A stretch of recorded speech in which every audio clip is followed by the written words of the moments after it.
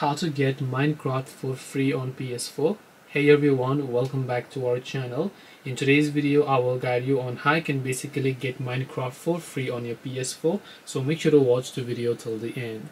Now if you might not have noticed it earlier if you go to your PlayStation store and then in the search bar you just go ahead and then basically type in Minecraft right? You have to know that Minecraft is actually a paid game by default. So if I just go ahead and then type in mine craft here you can see on the right hand side the main game actually costs you up to 19.99 dollars which is in a nutshell just 20 dollars.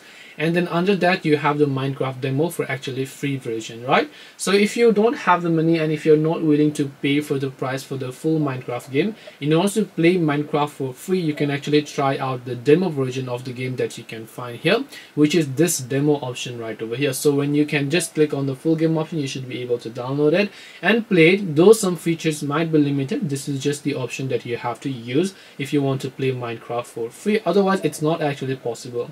Now if you have a gift card code and everything just in case someone has gifted you a gift card code you can just go ahead and then log in and maybe just try to redeem those code and you should be able to get the minecraft game for that value.